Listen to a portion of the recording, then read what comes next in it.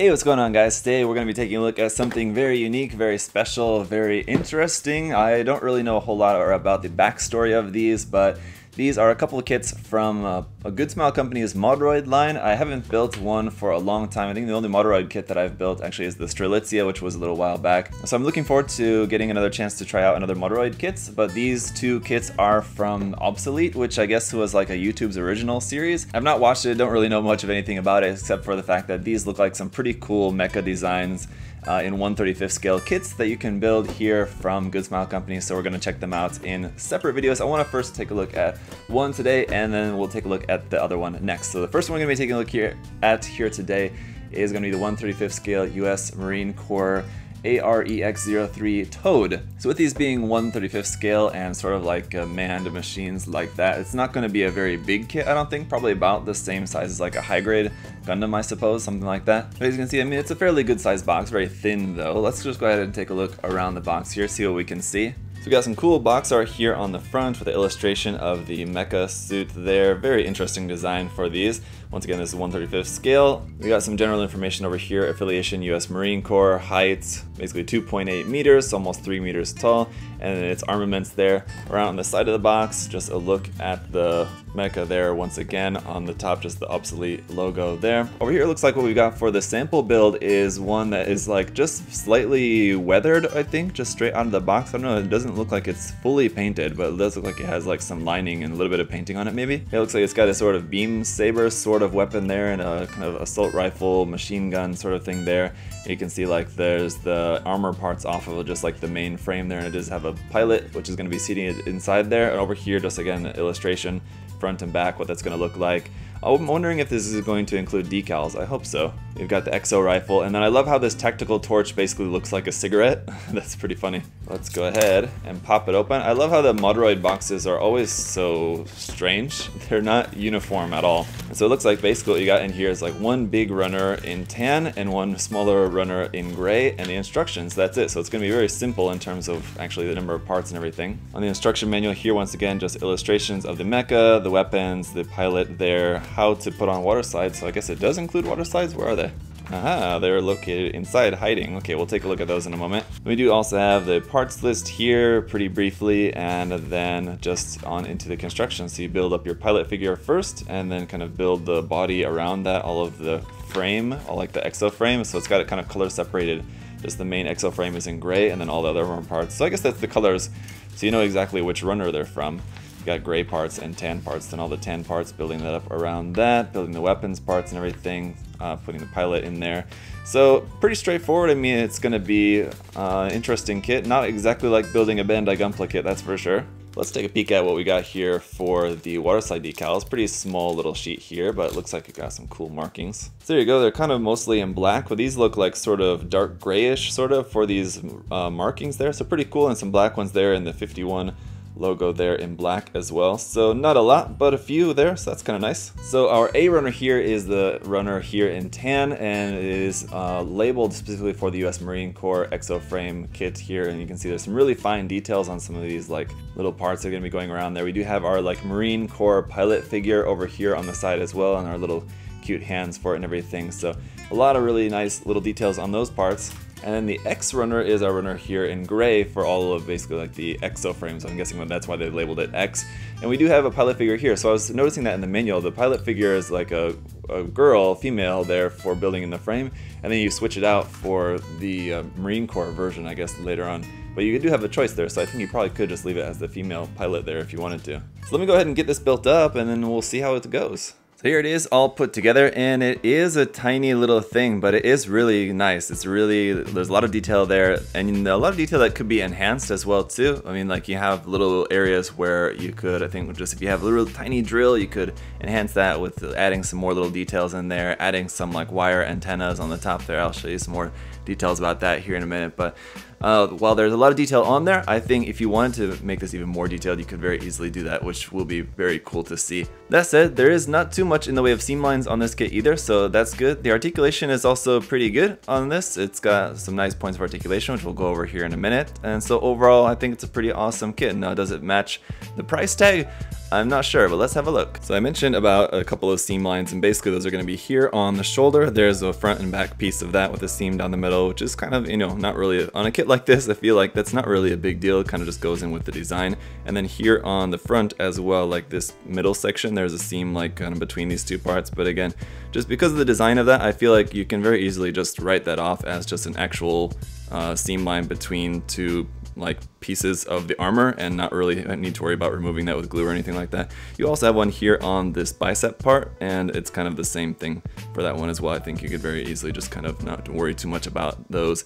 As for the articulation here, uh, also I should mention that I didn't glue anything on this yet. Uh, it does recommend you to glue some, especially some of the smaller parts in and I would definitely do that before painting, but just for the time being I haven't glued anything on this quite yet. So some of these small parts uh, you do want to be a little bit careful with. So the head will rotate side to side there a little bit. And the articulation of this is kind of interesting how this like top part here is like the chest and this like main kind of body part is sort of just like a static part in the middle, everything that kind of like moves around that. So you have some forward and back articulation there. Uh, the shoulder will move forward and back here. Also, it will move up and down at its connection like uh, inside of there. Then you also have some rotation here at the end of the arm, but just because of the shoulder armor, that's gonna, gonna be like the extent of how high you can raise the arm, I think. Let me see. Yeah, about like that looks to be about the extent of that, unfortunately. This flap here on the side will move up and down a little bit. Uh, the elbow also will move up like that to a little bit more than 90 degrees like that and then the hand is just pegged on there so that will just rotate around side to side basically. So pretty simple for that.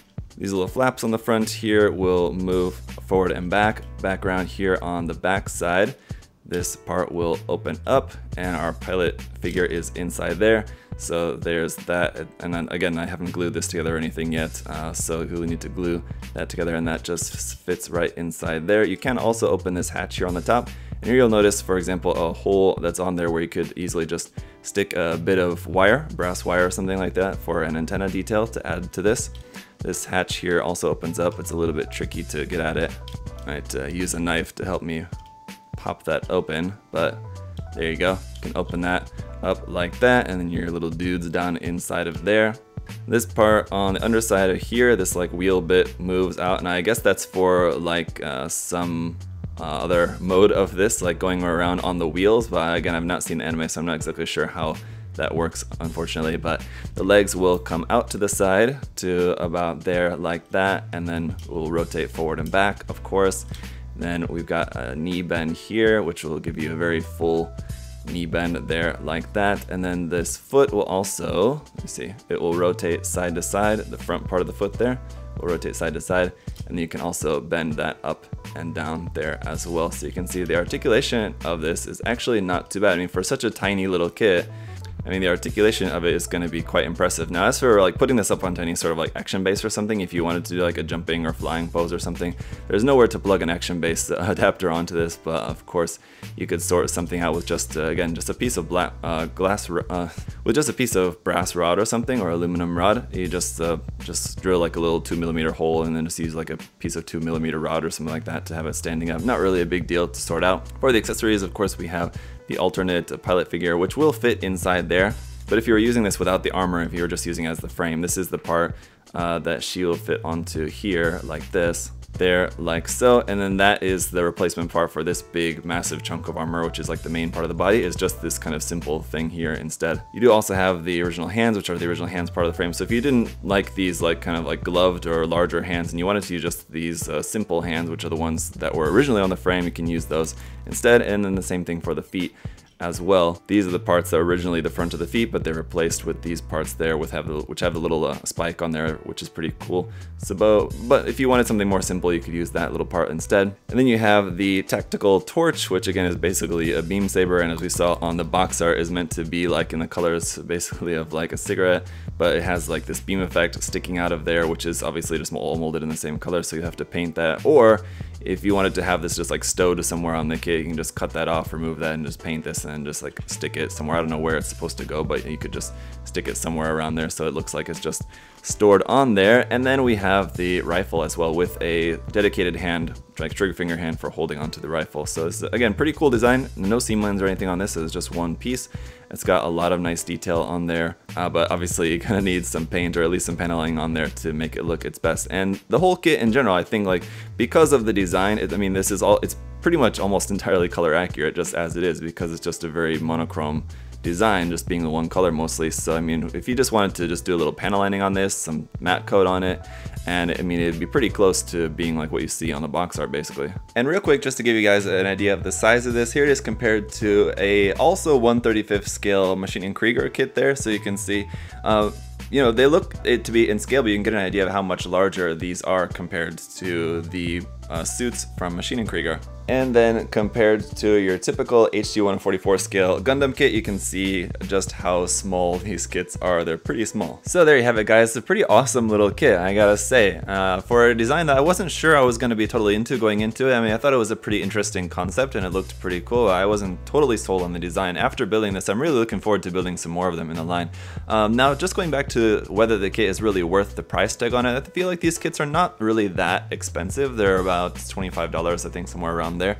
Um, they vary depending on the design. Some of the ones that are coming out towards the end of the year are a little bit more expensive or a little bit cheaper based on like how much is included in the kit. But obviously if you compare that to Gunpla and you consider you could get like an RG or like a bigger HG or like a smaller or older master grade for around the same price, yeah, in comparison it doesn't really seem very worth it.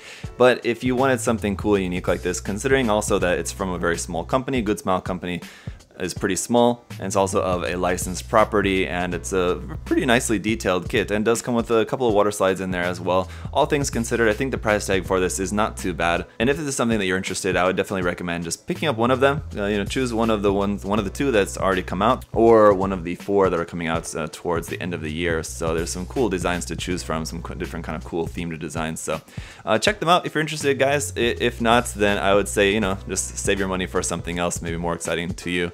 Uh, it's not something that I would say is for everyone, but it's definitely something that you could do some cool stuff with. So as always guys, thank you so much for watching. Thank you so much for your support, commenting, liking, subscribing, all of that. Really appreciate it. And of course, thank you to USA Gundam Store as well for their support as always. So check the link down below to USA Gundam Store. Use my coupon code there.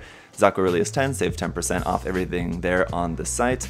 Enjoy building and I'll see you guys next time. Bye bye.